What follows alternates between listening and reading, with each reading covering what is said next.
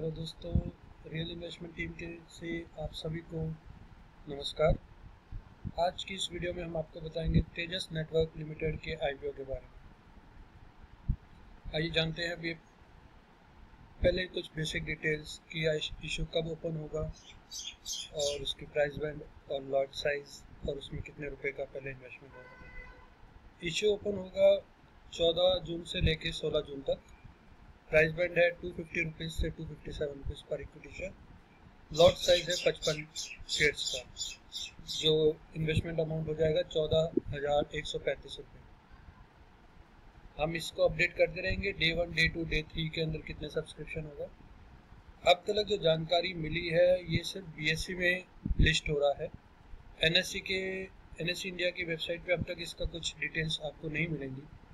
तो वो हो सकता है शायद ये सिर्फ़ बी में ही अपलोड हो। पर आप जानकारी लेते रहे शायद आखिरी मोमेंट पे शायद दोनों जगहों पे लिस्ट हो।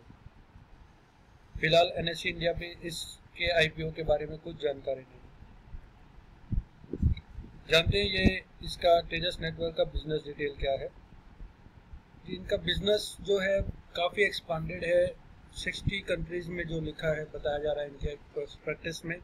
इस साठ कंट्रियों से इसकी इनके लेन देन है, जो इनका बिज़नेस है। मेजर इनका बिज़नेस जो आजकल बहुत की बिज़नेस है मार्केट में, वो है फाइबर नेटवर्क का और ब्रॉडबैंड लैंडलाइन कनेक्शंस टेलीकम्युनिकेशंस तो इनका यही यही मेन बिज़नेस है। इनके जो मेजर इनका जो आता है टेलीकॉम सर्विस प्रोवाइडर को अपना इंटरनेट और जो यूटिलिटी कंपनीज़ हैं, उनको कनेक्टिविटी कराने के लिए ये इक्विपमेंट सर्विसेज़ और बिज़नेस शेयर करते हैं। इनका 65 परसेंट जो रेवेन्यू है, वो भारत से ही आता है। और आपको बता दूँ, इस वक्त, आज की तारीख में भारत में जिस तरह से फाइबर ऑप्टिक का एक्सपेंशन जाल बिछ रहा है तो इस कंपनी के प्रोस्पेक्ट फ़िलहाल अच्छे लग रहे हैं कि जो आगे का बिज़नेस आएगा वो अच्छा होगा।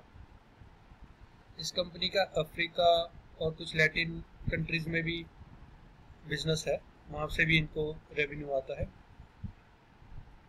ये second largest network pro, networking product company है जो हमारे देश में है और इसका शेयर जो हमारे देश से है 15 परसेंट है। ये आगे चल के बढ़ भी सकता है क्योंकि इस कंपनी के प्रोडक्ट्स और सर्विसेज़ काफ़ी अच्छी हैं।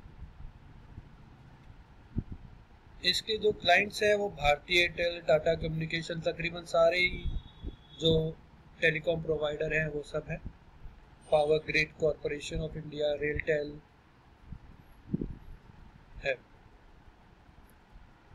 कुछ फाइनेंशियल डिटेल जान लेते हैं इस कंपनी के बारे में।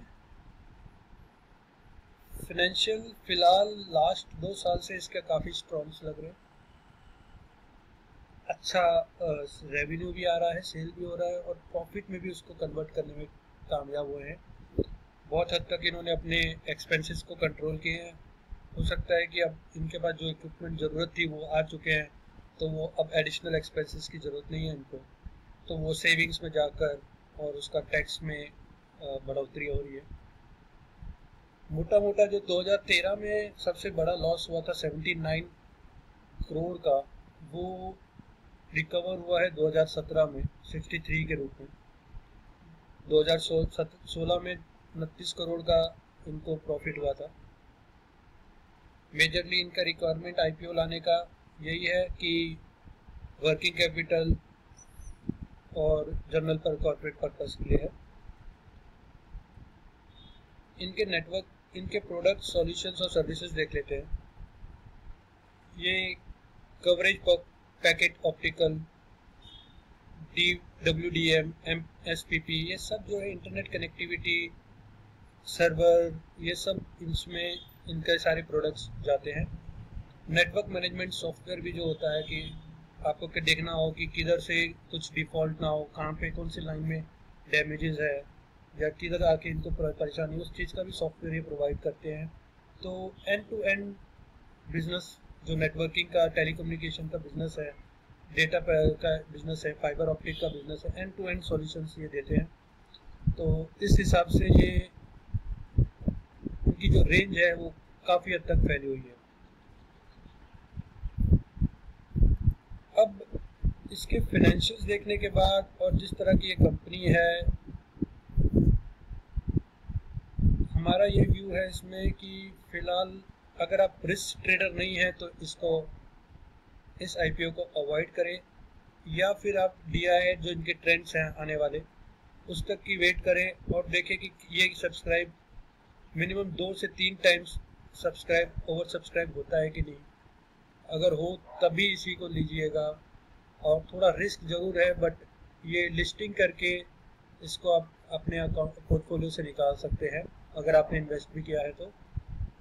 बाकी इस कंपनी के प्रोस्पेक्ट तो अच्छे लग रहे हैं बट लिस्टिंग के हिसाब से आईपीओ के हिसाब से फ़िलहाल जो है, हम यही कहेंगे, या तो आप अगर आप ट्रेडर नहीं है तो अवॉइड करें, या तो मैं आपको सरल भाषा में बोलूँ तो अगर आपकी उम्र पचास के ऊपर है और आपको सेविंग्स करनी है तो इसको अवॉइड करिए, और अगर आप पचास से कम हैं, चालीस, तीस, पैंतीस साल के हैं, और रिस्क ले सकते हैं, आपकी काफ़ी लाइफ स्पैन है अभी भी तो उसमें रिस्क ले सकते हैं रिकवरी का तो आप इसमें ज़रूर सब्सक्राइब करें ये आईपीओ में। आशा करता हूँ आपको ये वीडियो पसंद आया होगा। लाइक कमेंट करके बताइएगा। जो भी कमी रह जाएगी, हम उससे पूरे करने की पूरी कोशिश करेंगे। धन्यवाद।